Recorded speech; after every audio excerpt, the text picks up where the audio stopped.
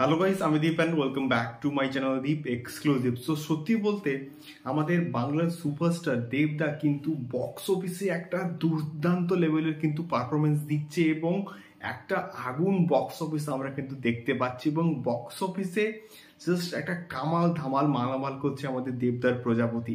So এখন কথা হচ্ছে, এই জন্যই কিন্তু বলা হয় আমাদের দেবদাকে হিট মেশিন মানে বাংলার হিট মেশিন তার কারণটা হচ্ছে প্রিভিয়াসলি আমি মানে পয়েন্ট বাই পয়েন্ট আসব।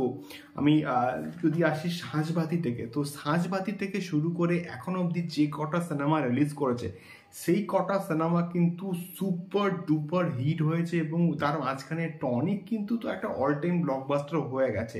তো সাঁঝবাতি ফ্যামিলি ড্রামা ছিল, সেটা সুপার ডুপার হিট হয়েছে এবং তার পরবর্তীকালে গোলন্দাজ, গোলন্দাজকে নিয়ে যে লেভেলের হাইপ ছিল একটা মারাত্মক লেভেলে কিন্তু হাইপ ছিল এবং সেটা, সেই হাইপটা কিন্তু একটা দুর্দান্ত রেসপন্স পেয়েছিল এবং একটা একটা দুর্দান্ত কিন্তু বক্স অফিসে একটা কালেকশন করেছিল।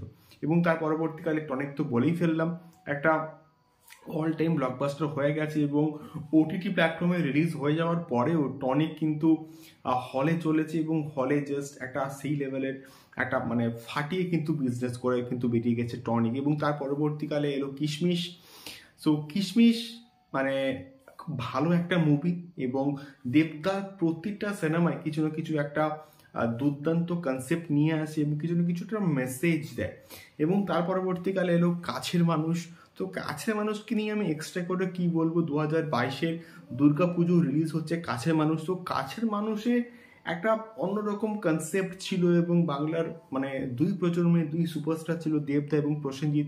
তো সব মিলিয়ে কাছের মানুষও কিন্তু মোটামুটি একটা সুপার হিট মুভি হয়ে গেছে এবং যদিও মানে অত ভালো বক্স অফিস কালেকশন না করতে পারলেও কাছের মানুষ কিন্তু সুপারহিট হয়ে গেছে।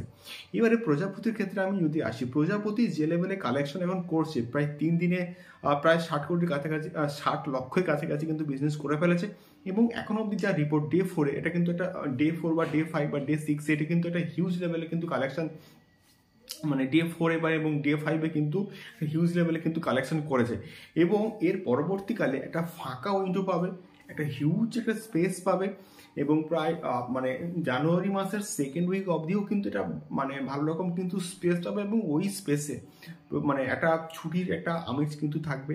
তো সব মিলিয়ে ওই ফাঁকা স্পেসে কিন্তু একটা দুর্দান্ত লেভেলে কিন্তু বিজনেস করতে চলেছে আমাদের দেবদার প্রজাপতি এবং প্রিভিয়াসলি ওই কটা সিনেমার মতনও কিন্তু দেবদার এই প্রজাপতি একটা মানে হিটের পথে কিন্তু এগোচ্ছে এবং হিট তো হয়েই যাবে এবং এটা কিন্তু সুপার মানে সুপার হিটের পথে কিন্তু এগোবে আপনার জানুয়ারিতে।